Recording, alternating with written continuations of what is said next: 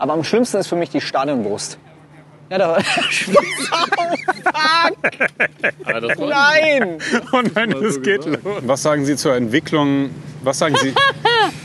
Fuck! Okay. Wurst. Aber am schlimmsten ist für mich die Sch Wichser guckt einfach weg. Die WM-Vergabe läuft völlig korrupt.